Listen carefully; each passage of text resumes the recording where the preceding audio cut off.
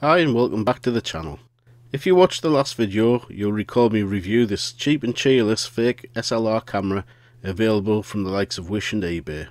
You'll have also seen how really poor the images are, so we're going to take it apart and see what's going on inside.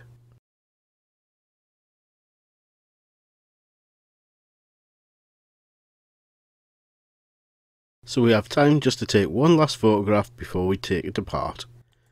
This could be goodbye indeed. So whilst I'd have liked to have used something a bit more heavy duty to take this thing apart, a small screwdriver is all that's needed.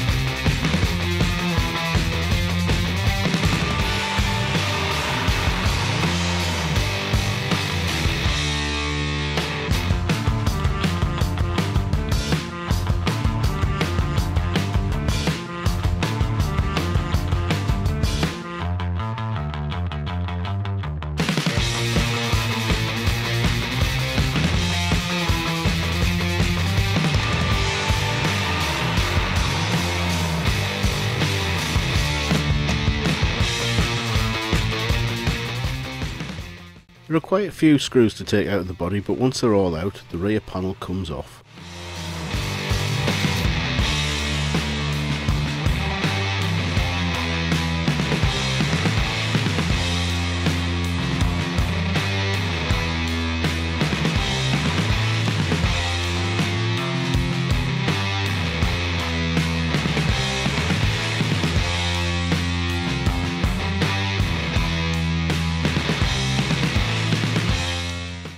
The next bit was a bit of a fight to get the PCB board out, but once it's out you can clearly see inside that there isn't very much to this camera at all.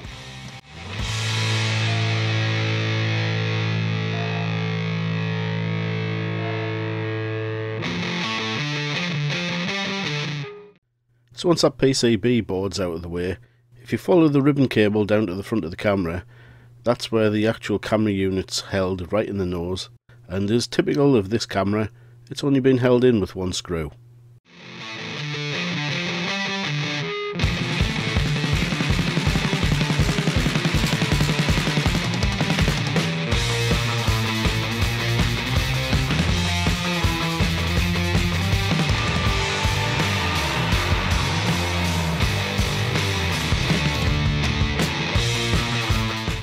So once the lens is free of the body, you can see that it is actually just a little webcam. Fantastic. No wonder it's only 1.3, well, not even 1.3 megapixels, it was 1.18, wasn't it? It explains why the um, photos of, are of such poor quality.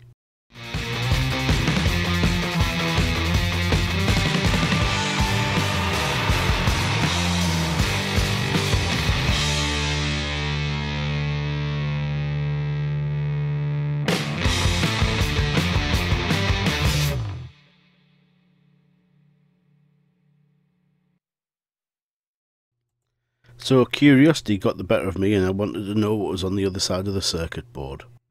As it was only two screws, I thought I'd give it a go and have a look anyway. Turns out, it's just the uh, SD card slot. So that's your lot. It's all in bits now and um, yeah, not a lot to it was there? And uh, certainly you can see why it's such a rubbish camera. Anyway, if you have enjoyed this video, please consider subscribing, uh, give it a thumbs up, um, hit the bell for notifications, and and I'll probably consider doing something like this again in the future.